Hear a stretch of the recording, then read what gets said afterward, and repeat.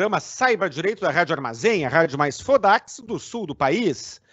Hoje falaremos com a doutora Jamile Venceslau, uma das advogadas que eu mais admiro, sobre um assunto que mais me preocupam: denunciações caluniosas. Tivemos agora, recentemente, o caso Johnny Depp, que trouxe esse assunto numa pauta, esse, esse assunto para um debate em nível mundial, o caso Johnny Depp, denunciações caluniosas, o que, que está acontecendo com a sociedade, para onde caminha a humanidade.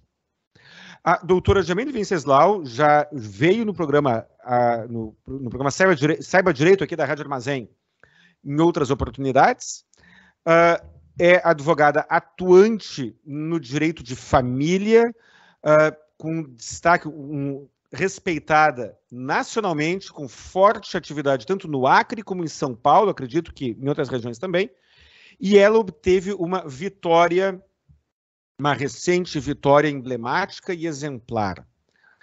Então, doutora Jamile, primeira pergunta, meios de contato, telefones, redes sociais, como que as pessoas chegam na senhora? Chegam no bom sentido.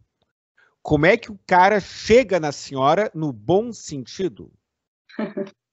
Bem, é, em respeito aqui ao nosso código de ética, nós temos algumas limitações, então, em respeito ao nosso código de ética da OAB, é, irei passar o meu e-mail, como também as minhas redes sociais, que é muito fácil.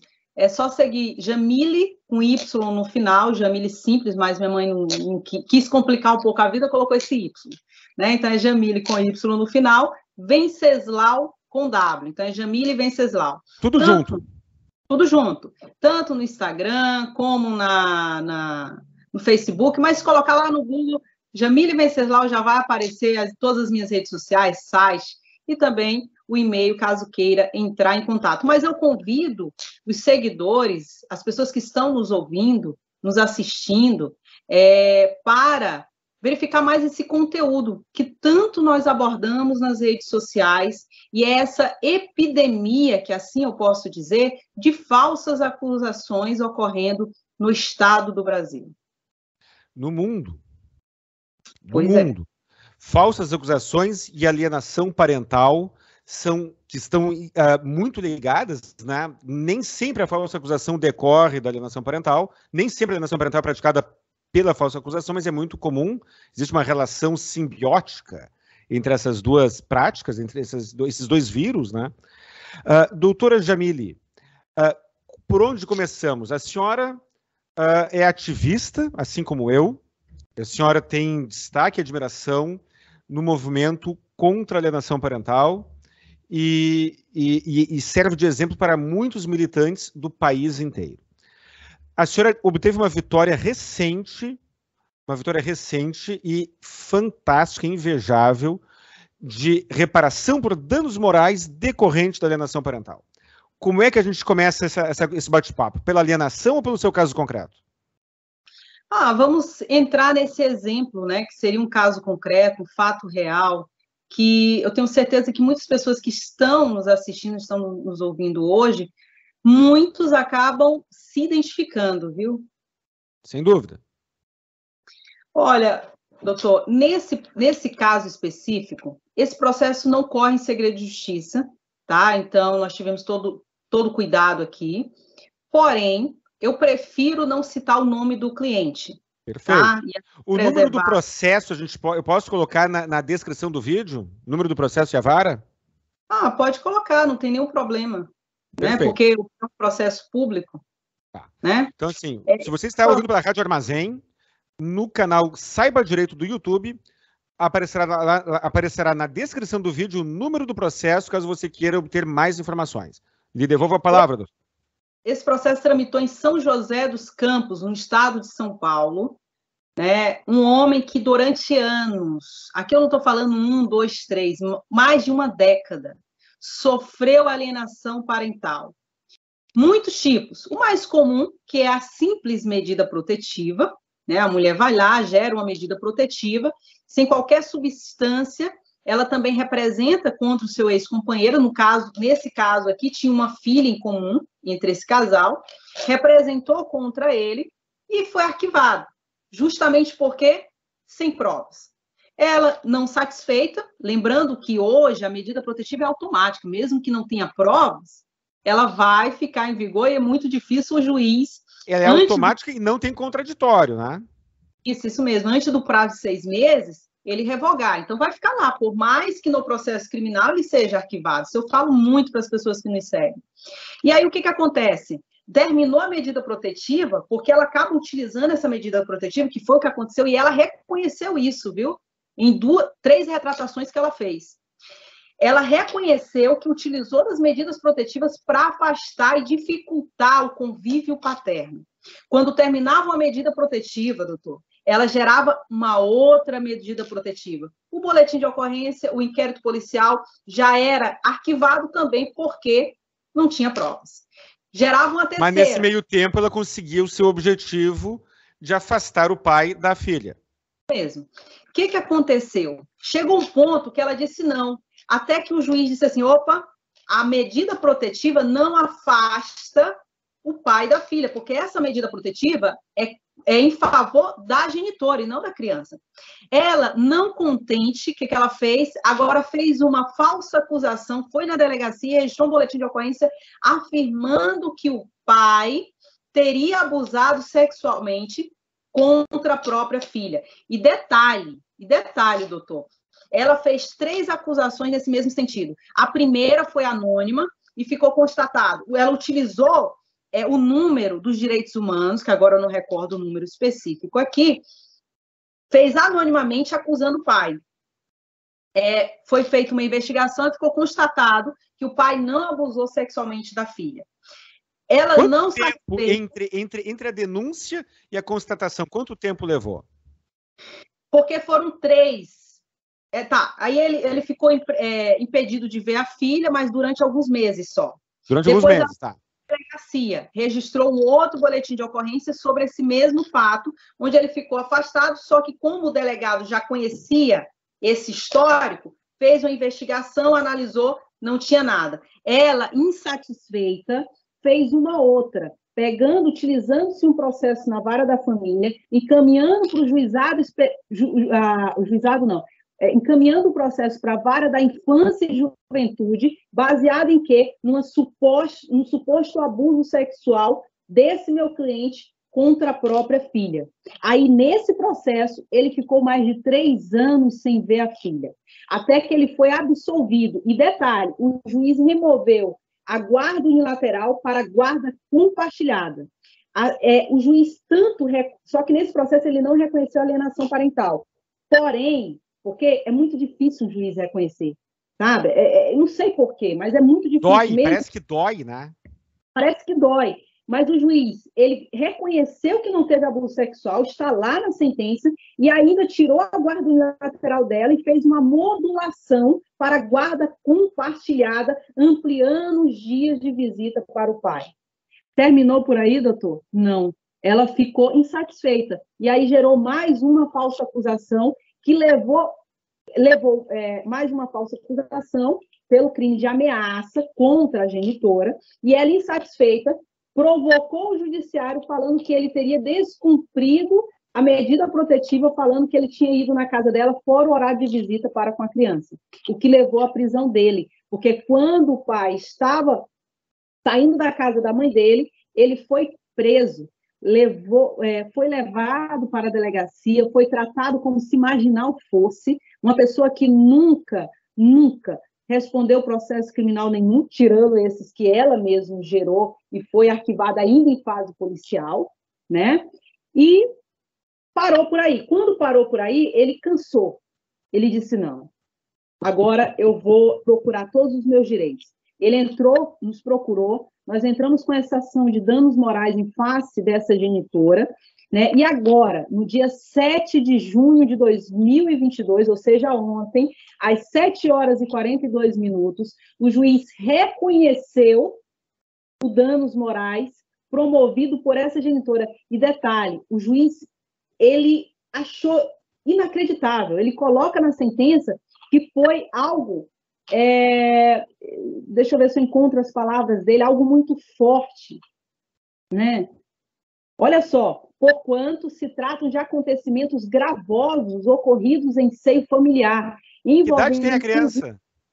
Menor de filha, menor de idade, filha do ex-casal. Essa criança, na época que começou tudo isso, ela tinha três anos de idade. Hoje a criança já está indo para a fase, já está na adolescência. Né? Então, assim, olha o que, que o juiz ainda coloca. Em detida análise dos fatos, verifica-se provada a conduta reprovável da ré. Então, assim, o juiz reconheceu a situação e colocou como gravosa. Não foi um ano, não foi dois anos. E essa situação, doutor, gerou um danos morais de 20 mil reais. Que aqui pode não ser nada, mas é uma vitória. É uma conquista. É, é, é simbólica, é uma vitória simbólica, porque 20 mil reais não indeniza. Não indeniza. Tudo que esse pai passou, ser preso, ser acusado, porque quando ele foi acusado é, de ter abusado sexualmente da própria filha, ela fez, ela, ela fez questão de expor esse caso. Ela fez questão do que, a, com que as pessoas é, que, que rodeava ele se afastassem dele.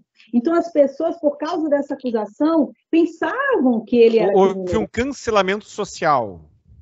E isso, então, ele teve um reflexo muito grande. Detalhe: ele é um profissional autônomo, ele é um psicólogo. Então, imagina, você, ele não conseguia é, contratações, ele não conseguia trabalhar, ele não conseguia com que as pessoas chegassem próximo dele por causa dessas acusações. E o problema é que nós pedimos danos materiais, só que quando o cliente nos procurou, é, todo o gasto que ele teve realmente já tinha sido prescrito. Né? Então, por isso, julgamento parcial, porque o juiz reconheceu danos morais, mas pelos danos materiais já tinha. Um prazo de prescrição de três anos, que é o que está previsto no Código Civil, o que acontece? Se a pessoa tenta ser tolerante, tenta dar tempo ao tempo, tenta ser uh, flexível, ela pode ser prejudicada por esta sua boa intenção. Se ela sofre um dano e no dia seguinte entra com uma ação judicial, ela pode ser acusada de ser beligerante, de ser inflexível e tudo mais. Ou seja, é, existe uma, essa é uma das várias contradições, um prazo de prescrição curto que pune as pessoas que pretendem, que romantizam a, a figura da tolerância, do dar tempo ao tempo. Né? Sim, porque é o que eu digo, o pai ele acaba sendo mais misericordioso do que o sexo feminino. Então ele é mais, ele tem mais empatia. Ele pensa, não, calma lá, isso vai ser resolvido. Ou então, não, eu quero paz, eu não quero ir na delegacia. Porque a mulher quando já sofre, imediatamente ela vai na delegacia. O homem não. O homem segura, principalmente quando é ele a vítima, porque ele sente vergonha. É, ou, ou vergonha, ou sim. Uai, os motivos são vários, né? Pode ser vergonha, pode ser uh, descrença com o Estado, porque o Estado ele é acolhedor com, com um dos gêneros e não é nem um pouco acolhedor com o outro. Comentário, já que essa é uma entrevista com um bate-papo, né? Uh, eu tenho uma ação judicial em, no Fórum de Viamão, cidade vizinha aqui de Porto Alegre, na, na audiência de conciliação, eu vi na frente da, da, tela do computador um modelo de ata.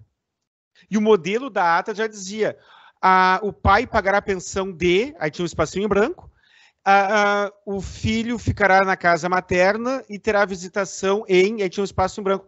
Aí eu falei para a juíza: Puxa vida, doutora, que bacana aqui, né? A senhora já tem aqui na ata aqui um modelo, aí, o, aí a parte já sabe mais ou menos qual é a, a mentalidade, né?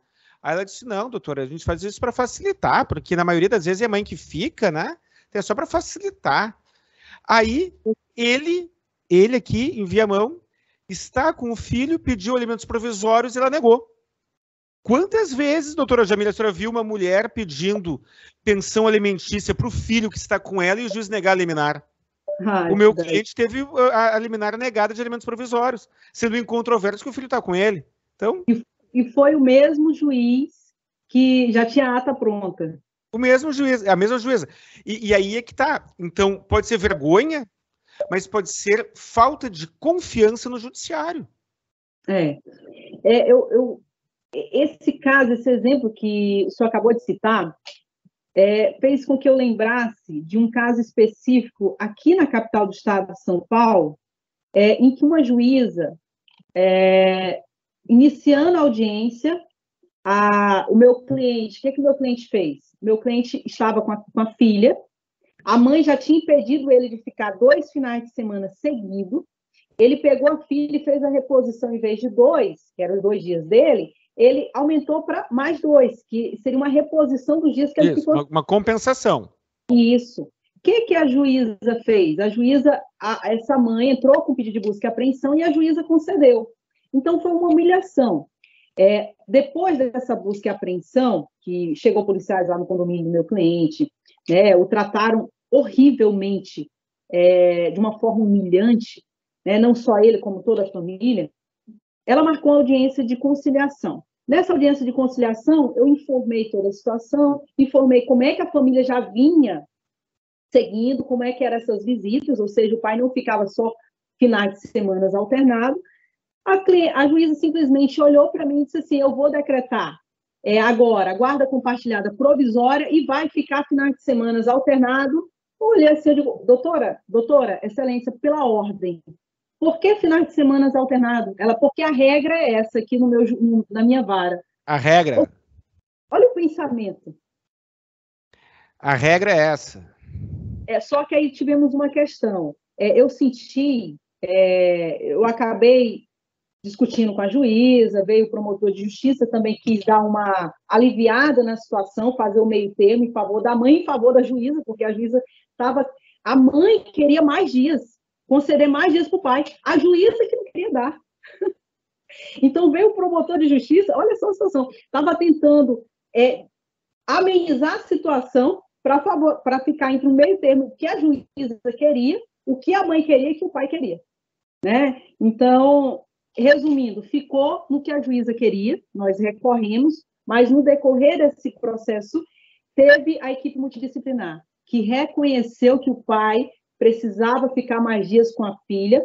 Depois a juíza marcou uma audiência que não era de instrução e julgamento. Quando chegou lá, ela simplesmente estava um anjo, um cordeiro, sabe? E, e, mudou toda a situação. Mas depois, é claro, de ouvir meu cliente já tinha o laudo também, então nós já tínhamos uma base aqui Como lado. se nada tivesse acontecido. Ou seja, o cara tem que provar Ela que é errou. inocente, e enquanto ele não provar que é inocente, ele é não é culpado, ele é muito culpado, seja do que for. E qual é o, qual é o princípio que os juízes, os juízes se, se baseiam? Princípio do melhor interesse para a criança. E para eles, eu não estou falando de todos, mas grande parte que, que nós atuamos, eles acabam colocando o melhor interesse da criança como se ficar finais de semanas alternados, ou seja, quatro dias no mês, fosse o melhor para uma criança. E considero isso como perfeitamente. Aqui no Rio Grande do Sul, o mais usual é finais de semanas alternados e um pernoite no meio da semana, todas as semanas. Já é um pouco melhor do que esse padrão que a senhora tá, está descrevendo. Nós teríamos aí seis dias no mês, né? Nós teríamos, quatro, não, quatro, oito, oito, oito dias, mas que continua sendo uh, desequilibrado. Mas é melhor do que na, é, é, melhor do que, do que esse modelo que a senhora descreveu.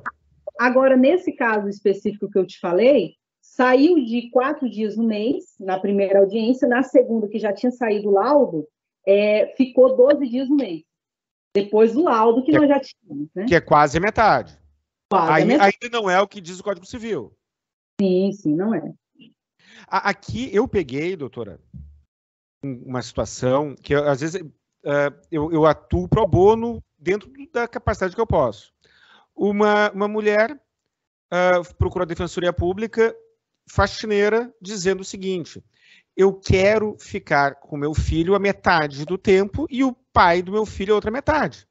A Defensora Pública disse que ela não podia fazer isso e ela entrou com uma ação judicial de guarda pedindo a guarda nos moldes de finais de semanas alternados. Não pode ser uma semana para cada um. Ela argumentou com a defensora pública dizendo que não, eu trabalho fazendo faxina. Se ficar uma semana comigo, uma semana com o pai, ele não precisa nem me pagar a pensão, ninguém paga a pensão. O pai é pedreiro, eu sou faxineira, uma semana para cada um, eu me viro uma semana e se vira outra semana. Não pode. A senhora tem que pedir pensão para seus filhos e tem que ser de tal maneira mega engessada. Ela entrou, assinou a procuração entrou com a ação. Viu meu vídeo aqui no, no canal Seba Direito e bateu na minha porta. E nós, então, entramos no processo para fazer um acordo, foi feito o um acordo e foi resolvido o problema. Mas esta mentalidade viola muitas vezes o princípio da autonomia, porque ela queria o que diz a lei. Uma semana para mim, uma semana para o pai. Uh, a criança estuda em colégio público, não tem plano de saúde, tem o, a, a, roupa na minha casa, a roupa na casa do pai. Ninguém paga nada para ninguém. Uh, era o que ela queria. Mas sabe o que eu acho interessante? Por exemplo, os juízes colocam que guarda compartilhada seria um modelo esse, finais de semana alternado com um dia em cada semana, né? Isso, Isso seria, é, seria guarda compartilhada e está maravilhoso para a criança. Porém, quando nós falamos esse exemplo aí no processo, eles consideram que isso não é guarda compartilhada e sim guarda alternada. Então, Exato. Então, minha pergunta é, então o que é guarda compartilhada para eles?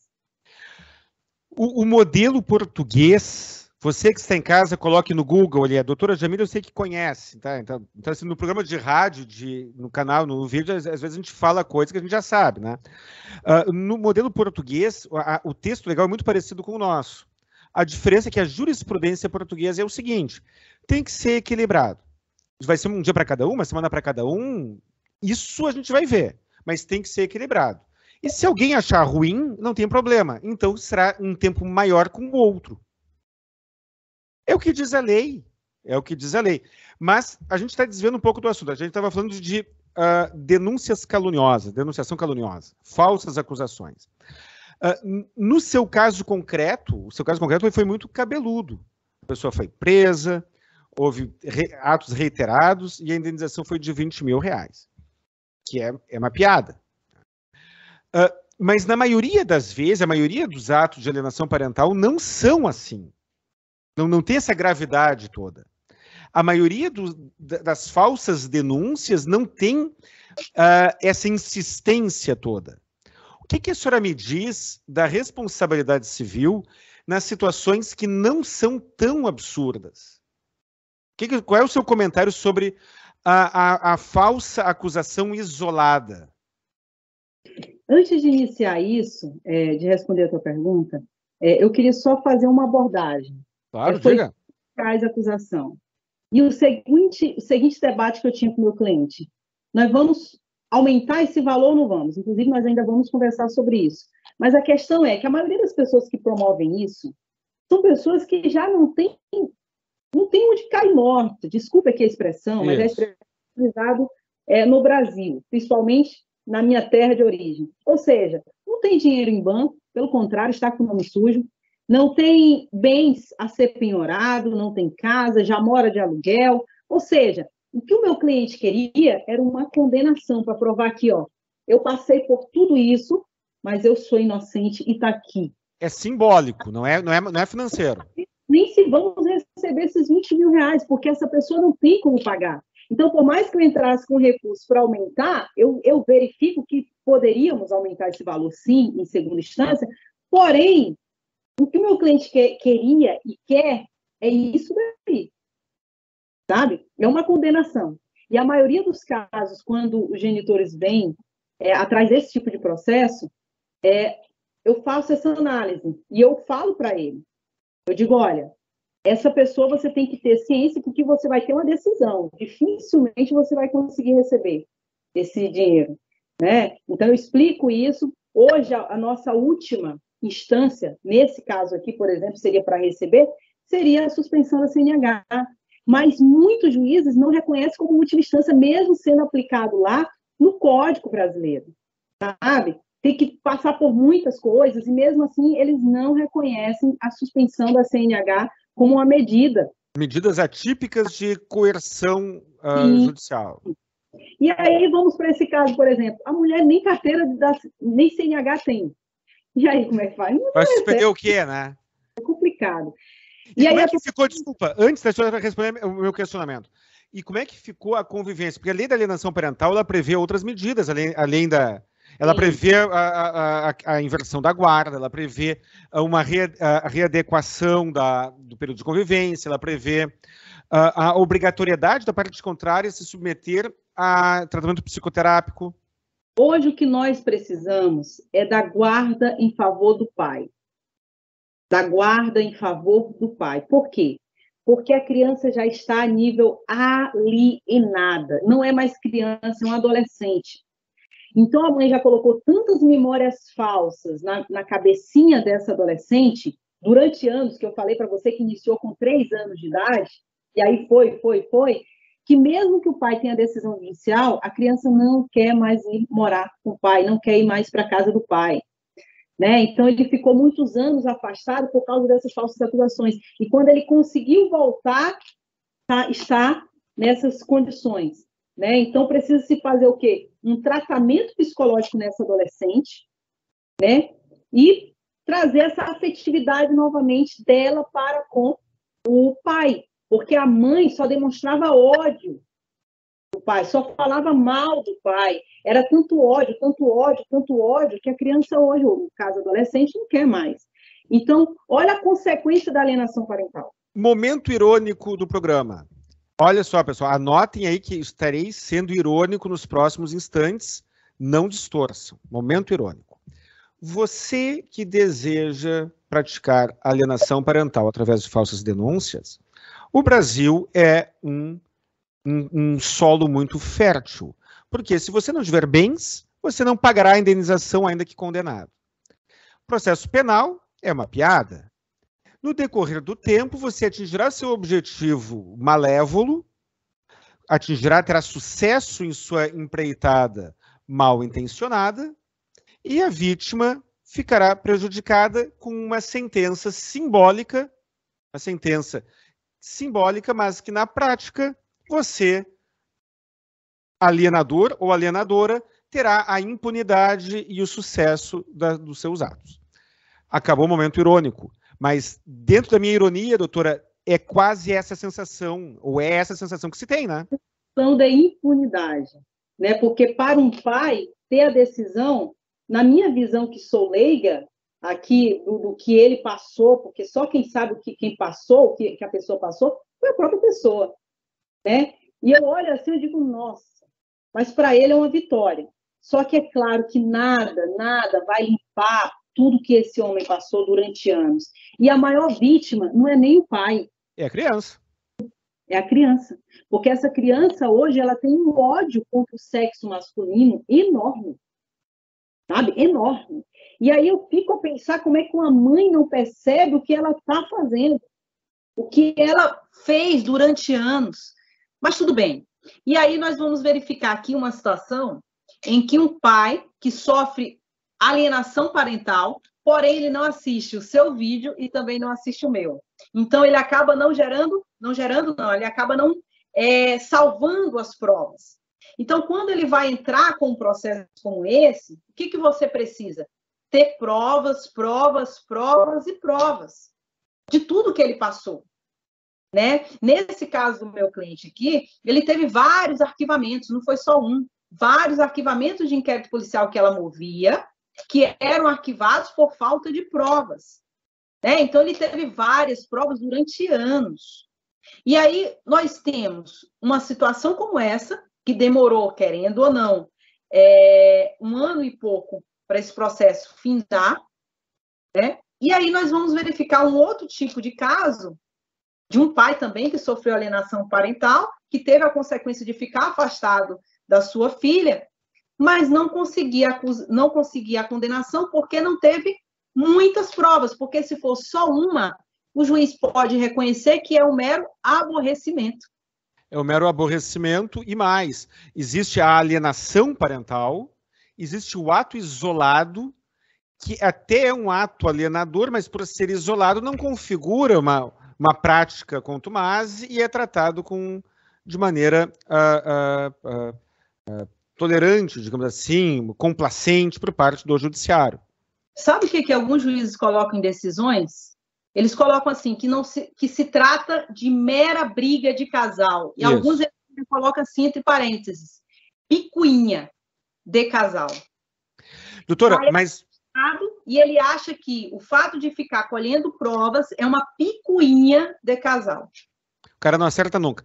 Doutora, nas situações menos absurdas, nas situações de alienação parental, nas situações de falsa acusação, não tão evidentes como é a senhora me descreveu. Vamos imaginar uma situação muito comum, que não envolve alienação parental, mas envolve falsa denúncia, que é a falsa denúncia com interesse imobiliário. Um casal tem um imóvel, mora num imóvel, uh, e, não, e ambos querem se separar, não houve nenhuma violência doméstica, porém, uh, eles não têm um outro local para morar, para, uh, só tem uma casa.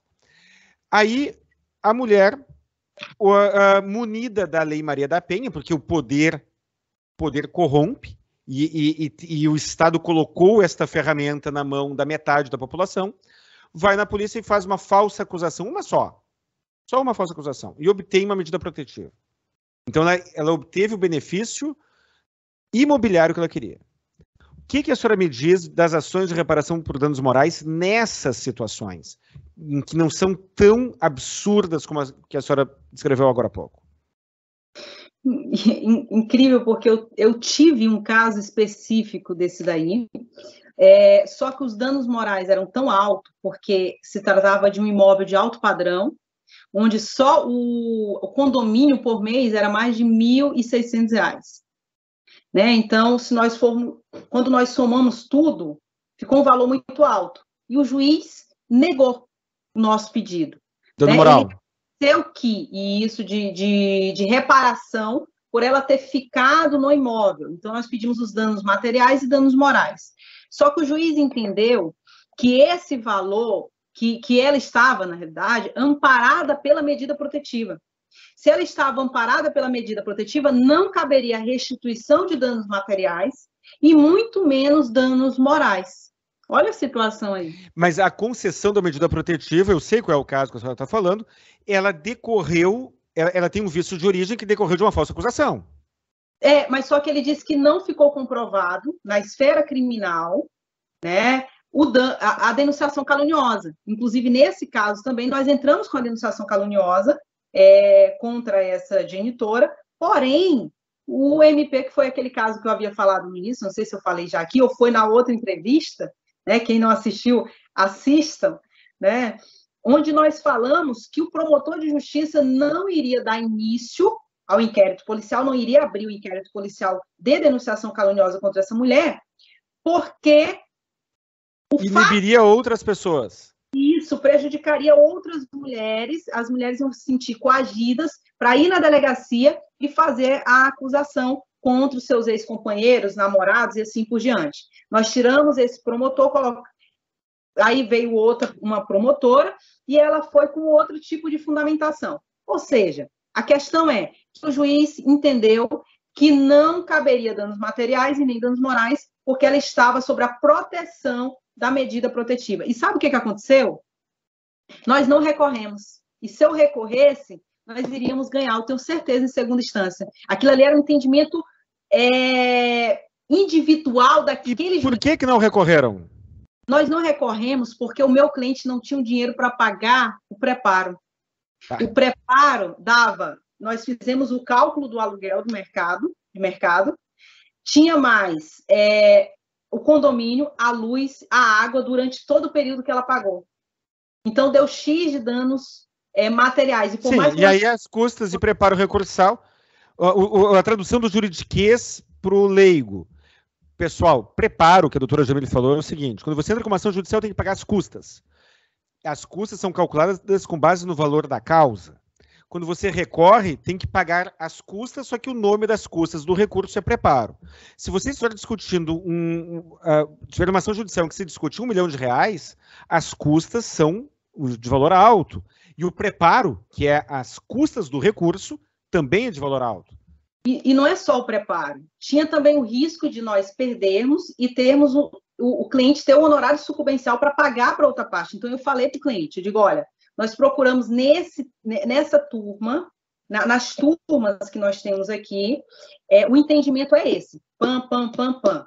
Ou seja, está difícil, mas eu creio que baseado no que nós temos, nós temos chance de reverter essa situação. Porém, se nós não ganharmos, vai ter essas custas para você pagar, que é o preparo, ou preparo você já tem que pagar para iniciar, para poder subir para o tribunal. Sim, mais a sucumbência, mais, mais, mais despesa. A sucumbência, que o mínimo é 10% do valor da condenação. Né? Então, tem essa, essas condições aí. E, isso me lembra muito aquele jogo do Silvio Santos. Sabe que é quanto é, você... é que dá? Quanto é que dá? Quanto? De preparo, de preparo, sete mil e pouco de preparo, de custas para poder pagar para nós recorrermos. Para aí, tentar, exato. Isso. E aí, como esse mesmo tribunal já tinha indeferido o pedido de parcelamento de um outro cliente meu, eu informei para ele, ó, esse acordo foi do, da mesma, do mesmo tribunal que indeferiu o parcelamento do preparo. Então tá aqui. Então nós já sabemos que eles vão indeferir. E aí o cliente disse não. O cliente achou assim, disse não, eu já perdi muito, eu estou com medo de perder mais. Doutora é. Jamile, estamos falando de problemas, vamos falar de soluções. O cliente lhe procura dizendo: não sofri nenhuma falsa acusação. Eu e a minha esposa eh, desejamos nos separar. Nós temos um único imóvel. E eu não tenho condições de pagar um segundo imóvel e nem ela. Uh, e eu tenho receio que ela aí então proceda uma falsa acusação para que uh, eu saia de casa e ela fique com, com, com um imóvel só para ela. O que, que a senhora sugere que eu faça? O cliente chega no seu escritório e lhe pergunta isso. O que, que a senhora responde para ele? Vamos lá, verificando o direito dos dois, eu iria indicar alugar o imóvel.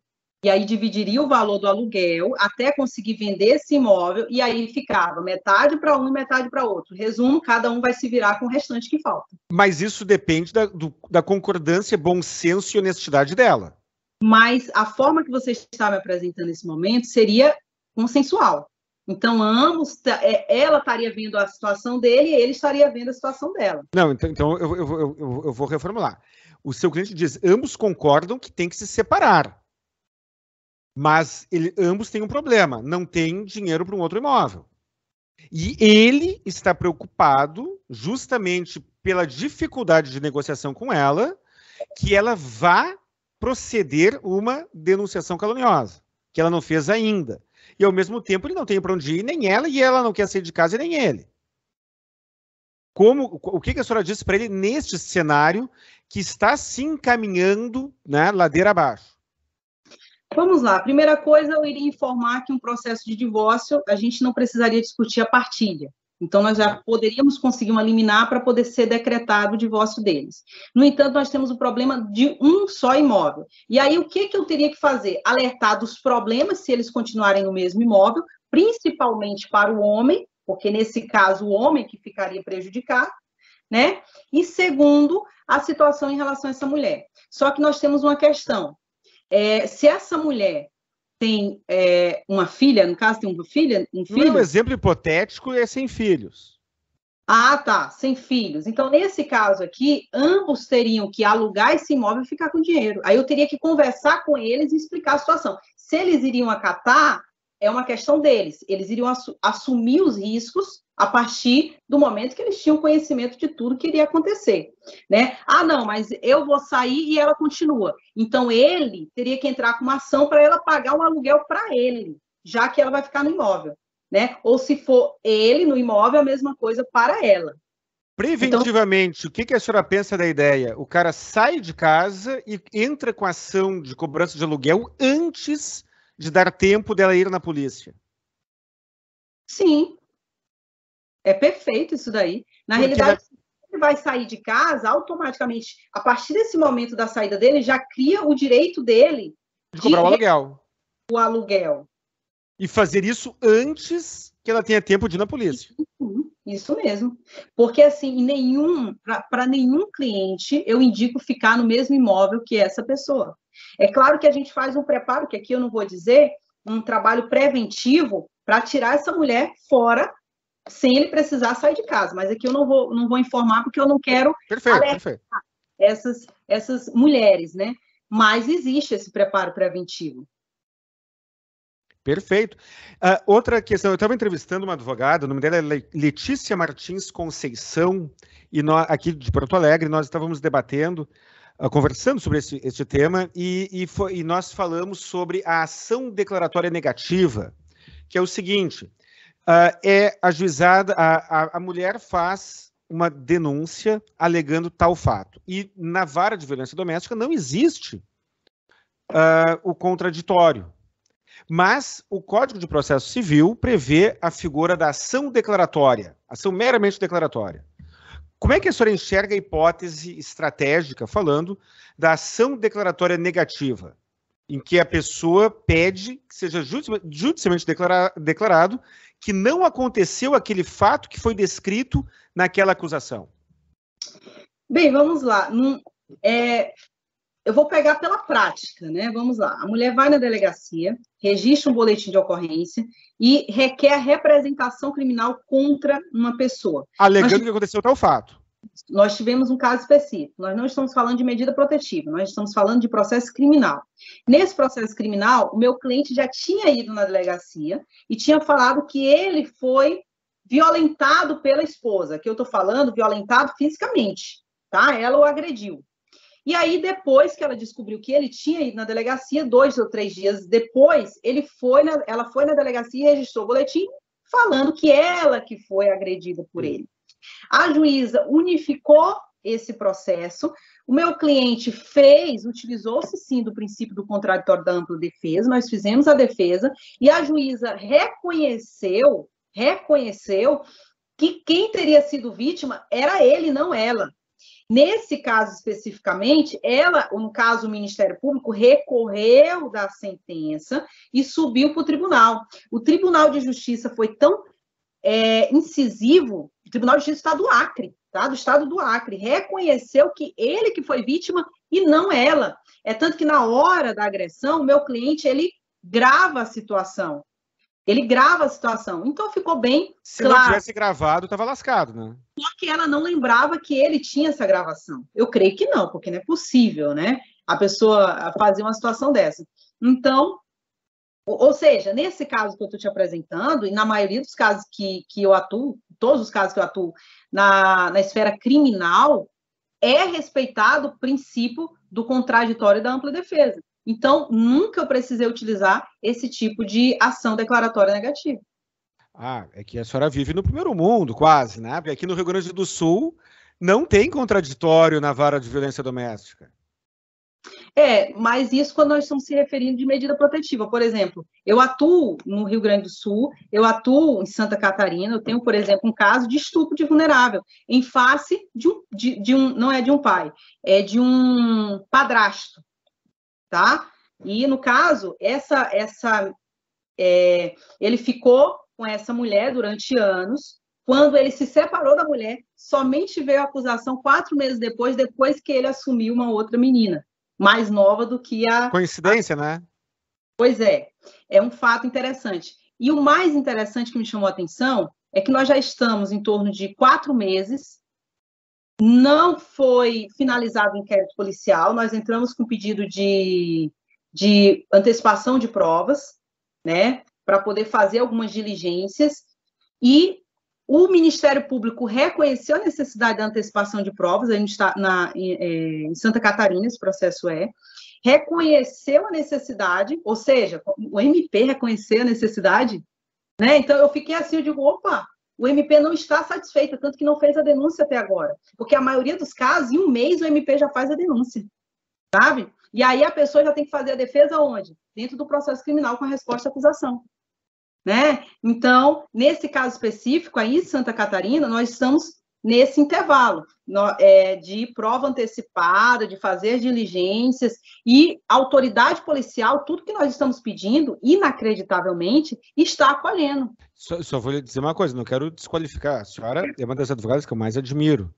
Mas eu já tenho alguns vídeos aqui no meu canal, entrevistas minhas, que eu menciono que Santa Catarina e Minas Gerais, aos meus olhos, são estados em que é outro mundo.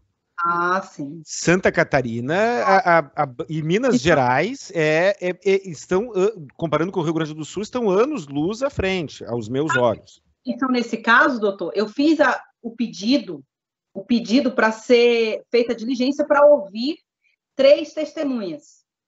Sabe o que, que o delegado fez? O delegado fez questão de que eu fosse presencialmente para conduzir em sede policial a oitiva dessas testemunhas, coisa que nunca em nenhum estado brasileiro que eu atuei, o delegado teve essa, esse respeito para com a pessoa do advogado.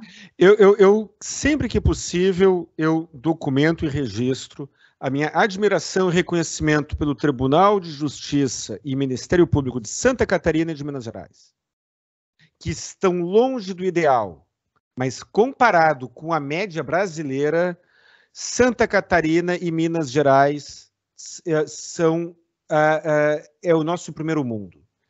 Nós temos em Minas Gerais, por exemplo, várias decisões alternando, modificando, alternando, não, desculpa, uh, invertendo a guarda quando detectada alienação parental. Minas Gerais está cheio disso.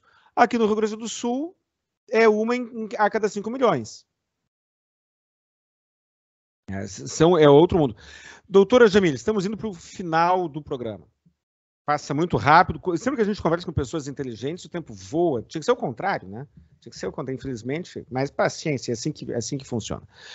Uh, conselhos e considerações finais que a senhora teria a dizer para quem é ou acredita que possa vir, vir a ser vítima de, de alguma denunciação caluniosa? Bem, eu vou citar esse exemplo que o doutor fez questão de trazer aqui no início, que foi esse caso emblemático uma vitória não só para o meu cliente, como para vários pais. Só que esse pai só conseguiu essa vitória, eu vou falar uma coisa para vocês, porque ele teve o cuidado de guardar todas as provas que ele é, sofreu nessas práticas de alienação parental promovido pela ex-companheira, né, pela genitora. Então, é, o fato dele ser impedido de ver a filha no final de semana, o fato dele ser impedido porque a mulher dizia que a criança estava doente e não deixava o pai cuidar no dia da visita dele, como se o pai não soubesse cuidar da própria filha. Né? Então, assim, ele começou a guardar, guardar, guardar, e aí gerou toda essa situação. Se esse pai não fosse prevenido, não fosse atento, por mais que ele contratasse o melhor advogado, nós não teríamos essa decisão. Pessoal, então, advogado não faz milagre. Só o advogado não faz milagre. Eu sempre falo, o juiz não vai te ouvir. O promotor não vai te ouvir. Ele vai te ouvir quando? Numa audiência de instrução e julgamento. Ou seja, lá no final, até lá, vai ser baseado em tudo em provas. E mesmo assim, quando chegar na sentença, que é quando o juiz vai analisar tudo que está nos autos processuais, como se estivesse aqui na minha mesinha, ele vai analisar tudo, ele vai analisar as provas. Ele vai verificar o que foi juntado, ele vai verificar se essa prova bate com o que foi alegado em audiência, tá? Então, ou seja, não é só palavras. Tem muita gente que chega no escritório, doutor, não sei se o senhor já passou por isso, e muito cliente diz assim: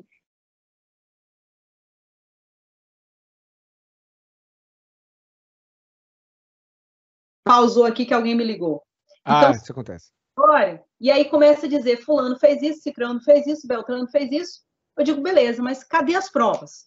Deixa eu analisar as provas. Ah, doutora, não tem, porque ela ligou, eu não gravei, porque foi por ligação via WhatsApp, e aí o meu aplicativo não gravou. Ou seja, não, não adianta. Só falar não adianta. Nós precisamos de prova para poder juntar no projeto.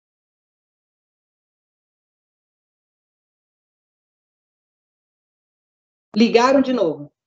É como eu estou falando para vocês: quanto mais provas tiver, mais chances de êxito você terá. Perfeito. Muito obrigado. Muito obrigado, doutora Jamile. Eu sou seu fã. Eu queria que, olha, se tivesse meia dúzia mais de Jamiles, aí o nosso país já estava um pouco melhor. Se tivesse algumas dezenas, então nem se fala. Eu sou seu fã incondicional. Doutora Jamile, muito obrigado. Muito obrigado para você que está em casa. E até o próximo vídeo.